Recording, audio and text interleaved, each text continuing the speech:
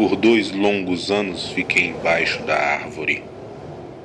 Pensei que suas sombras me confortariam, suas folhas me protegeriam das chuvas e seu tronco me livraria de animais perigosos ao subir por ele.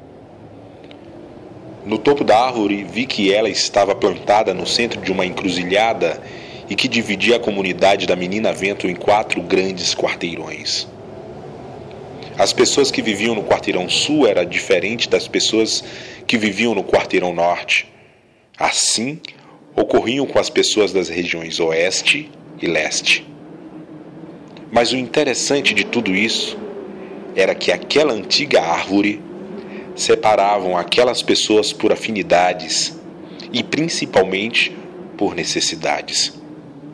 Talvez as necessidades criadas faziam apostar que pessoas idosas permaneciam com pessoas idosas, jovens com jovens, homens com homens, mulheres com mulheres.